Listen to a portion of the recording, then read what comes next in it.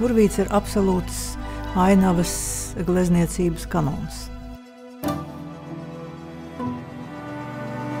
Visi par to runā, un es arī atkārtošos varbūt.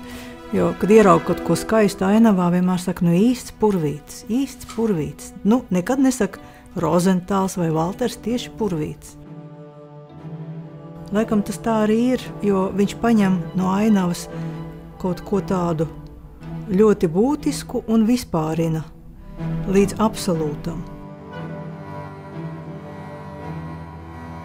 Kāpēc es tieši šo darbu izvēlējos? Mm, man liekas, ka tiešām tas no viņa darbiem ir tas absolūtu, absolūtais darbs. Viņš arī ir ļoti kanonisks, un viņš ir ļoti slavens, un viņš ir daudz ceļojis pa izstādēm, un viņa vēsture ir tāda, ka tas piederēja Benjāmiņa dzimtai un tika dāvināts muzejam. Es domāju, no purvīša viedokļa, vai viņš būtu priecīgs, ka viņa uh, principā parasti it kā monumentālas ainavas tiek samazinātas līdz mazai neliela izmēra monētai. Un tas arī ir uh, savā ziņā baigais izaicinājums otram glaznotājam saprast, par ko būtu priecīgs purvīts.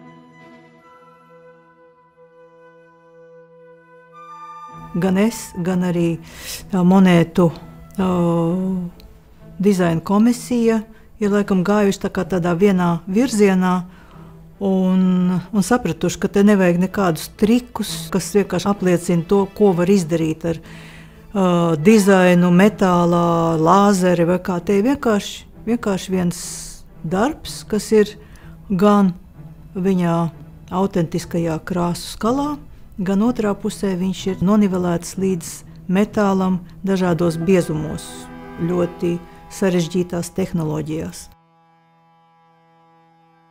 Paiet gadu desmiti un simti, un jebkura māksla vai nu kļūst par klasiku, vai vienkārši tiek aizmirsta.